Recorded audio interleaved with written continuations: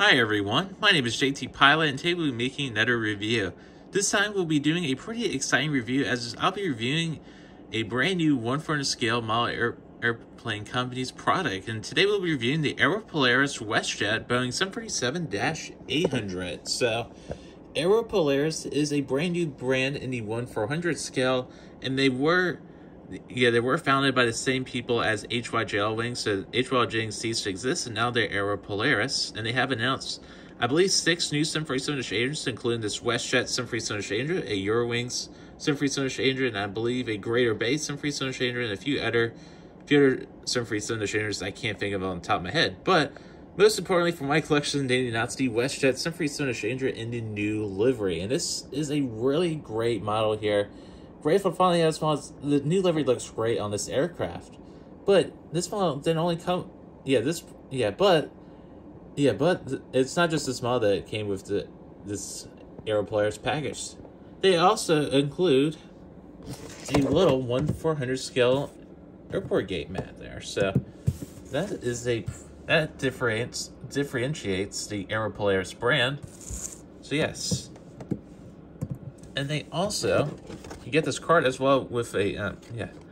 Yeah solid paper on here so really good um, paper there. So number 47 out, out of um, i believe around 150 these were produced something like that. And beautiful card that comes with the model as well but we're we're backtracking a little bit. But there's some things that make Aero Polaris more of a premium brand and that, that's what we'll be covering in today's review. So in today's review, I'll be first starting off with the box of the model, then do an in-depth analysis of this model, then I'll be scoring this model with my JT scoring system. Will this be a perfect model? Will this model score a perfect score? We'll have to see. So, nonetheless, let's get started off with the box of this model. And starting off with the box of this model, so the Aero Polaris does have a pretty premium box compared to um, the other 140 brands. It does have really good, yeah, premium packaging. So, on the front of the box, you have the Aero Polaris logo on the top left there, so really great logo there. You have the WestJet logo in the center. You have the West CGI image of the WestJet 747-800. And on the bottom right, you have your Boeing 747-800 titles and the registration of this aircraft in the 140 diecast aircraft model logo. Similar to a 1200 model box from Generators, this model does have a Velcro flap, so we can just try to do this one-handed. There we go. It's a Velcro box, and there's a flap inside. And there is the flap there. So you have your CGI image once again, the WestJet logo, and there's the Velcro up there. And then the inside of the box is really premium, and it's great to see the Velcro. Yeah, this yeah makes this makes the you know model a little bit more premium there. So yeah, that's a, that's the theme of this video, premium. Anyways, on the bottom of the box, you have your Polaris logo and the WestJet titles. Then there's your right side of the box with the CGI image. Top of the box, left side of the box, you see some stars there, so that's pretty cool. And you have the back of the box, so you have your Boeing 747 titles, your Aero Polaris logo, and then the underside of the aircraft, the underside CGI image, that's looking cool. And then you have the limited edition logo, WestJet logo on the bottom left, you have your I number, which is HA7380003, and the barcode, and the Boeing officially licensed product. And proceeding onto the model itself, so, yeah, so HYJ, I mean, not HYJ, Aero Polaris I believe uses the NG mold. This looks like the NG mold. They may have developed their own Symphony interchangeable. Like, not 100% sure on that, though. But a lot of characteristics as well. This mold looks like the, it just look, looks and feels like the NG mold. But I could be wrong, so if I am wrong, just let me know. But yes, this, it's such a new brand, I'm not sure. HYJ Wings in the past did use NG molds for the most part, so that is what I'm assuming they're using for this model. So on so start with the front portion of the aircraft, you have your nose cone there and the pitot tubes and static ports. Those are looking great. You have your cockpit windows and the proudly, I believe, proudly Canadian tiles there. So those are looking great. You have your fleet number down there, which is 820. And then you have the nose landing gear, L1 door, the WestJet tiles, and you have your passenger windows looking great. And WestJet tiles may be a hair too high, but I'm not going to deduct points for that. This is a general observation. You have your bottom antenna there. Let's get a little closer. Then your landing light, and you have your emergency escape doors, and there's emergency escape halves on the wings, so. And there's your scimitar wing, looking fantastic there. The bottom scimitar does look better than some of NG's, NG's Symphony Sunshaders. That's really great to see there, so great that uh, Aero Polaris did fix on this model. Yeah, perfect size there. That, that is a perfect split scimitar winglet.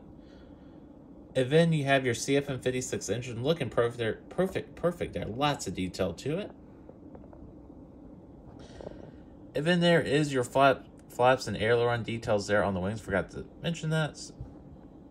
Those looking great. And then you have your left scimitar or winglet. And then you have the nav light. You have a few more antennas on top. You have your two bottom antennas.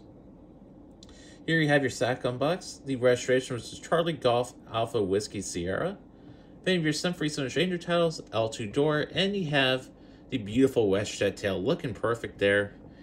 Have really vibrant, and you have inaccurate as well. And here's the backside of the model. So there's the backside of vertical stabilizer and horizontal stabilizers. These are looking perfect.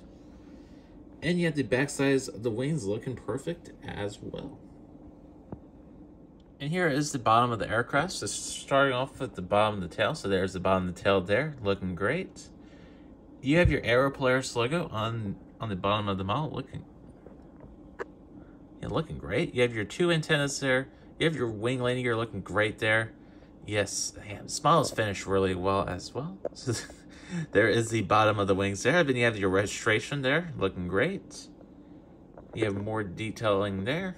And you have another bottom antenna there. And then you have the nose landing gear. And proceeding on to the front side of this model. So here's your cockpit windows looking flat out amazing there. Yeah, they're lined properly. They're not slanted either way like on some other some other models out there. So that's looking great. And here's your left wing there. If I can get the camera to focus in there. There you go. That's looking great there. If You have your inside the CFM 56 engines. And then you have the left wing as well. Moving on to the right side of this aircraft. So starting off with the front portion, there is the R1 door. There is a baggage hold. And then pretty much the exact same as the other side of our review, just with some minor differences, including another baggage hold. Then there's the R2 door. So yeah, let's get some final shots of the then I'll be proceeding onto the onto the JT scoring portion of this model review. So moving on to the JT score portion of this review, and overall, this model received a perfect score, a 50 out of 50 or 100%. Air players nailed on apart in all of the aspects of the model. Um, yeah, yeah, this is this is a perfect model. Um, main highlights for me is the mold is fantastic. The um, wings are great. Scimitars are great. Um, yeah, Mold's fantastic, great quality control. The landing gears are great as well. They roll properly, right amount of aerials. Nose is great shape. Tail's great shape. And the fuselage has a great shape as well. So overall, it's just perfect. Not much else like I really say. That's a good thing to say in a model review when this means the model is a great model. Folks, that does conclude today's review. So overall, Aero Polaris has so far had a great start in their 1-400 business. Um, they set a premium 10 with their model releases with their models being in perfect condition with excellent molds, great boxes, and extra details like like that premium card or even a piece of an airport mat, which is pretty cool. So, yeah, so overall, this is a great model. I highly recommend for anybody to purchase this Aero Polaris WestJet Sunfree Sun Stranger. So that's it for this review. I'm JT Pyle. I'd like to thank you all so much for watching and have a wonderful day. Bye.